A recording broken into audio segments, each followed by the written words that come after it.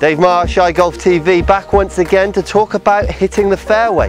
Now what I want, don't want you to do is think about distance over accuracy. The bottom line is we need to get the ball in the fairway. Hit it where the mower goes is most important. If you're standing on the tee and you feel like you're not getting as much accuracy as possible, most times I bring that back to your swing getting too long. If it gets too long, we start to get away from controlling the ball. Think about this. Imagine if I could create enough power if my club only came back that far. If I could swing back to there and still hit it 300 yards, I'd probably be pretty accurate. So if we work on that premises, when you bring the club back, if we get it back to here, that would still be a good position, 300 yards. But we can't quite do that. If we get it back to here, 300 yards. But you can start to understand my philosophy here that we need to keep the backswing a little bit shorter if we're losing control because there's less time for bad things to happen.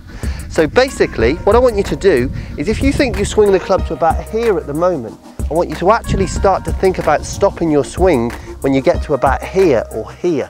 Think of a clock face, that would be about nine o'clock. Now what's gonna happen is by the time you think about stopping, the momentum will carry you further past. So the swing will actually be longer than you think it is. So often, when I put somebody swing on video, even tour pros, when we turn their swing back, where they think they stop isn't actually where they actually stop.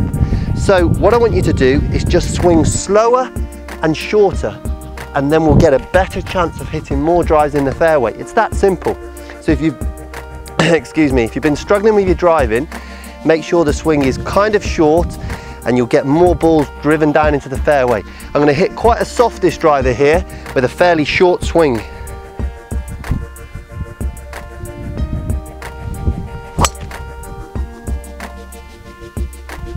Easy for me to get that ball flying very straight.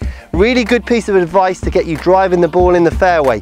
This tip especially goes out to Mr. Adrenaline who keeps e emailing me telling me his drives are missing the fairway all the time. Listen to this and you'll start hitting a lot of fairways all the time.